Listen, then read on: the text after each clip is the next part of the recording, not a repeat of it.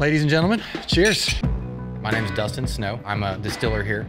More specifically, I'm our mash cook. So I'm in charge of brewing our various mash recipes that make our different whiskeys.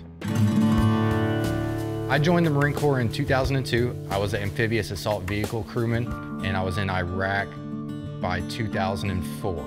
I think my experience coming back uh, after combat is an experience that a lot of veterans share. It's reintegrating after seeing a lot of things that most people are never going to encounter.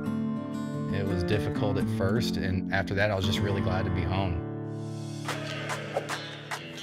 The partnership between TX Whiskey and Boot Campaign is fantastic. Uh, you got two homegrown Texas brands that have come together and the approach that Boot Campaign has regarding a custom tailored fit to each veteran's specific needs and their family's needs, that is very, very important, I think.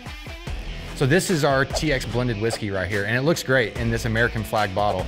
A portion of the proceeds from this specific bottle, whenever you see it on the shelf, is going to go straight to Boot Campaign to help fund their various programs for our veterans.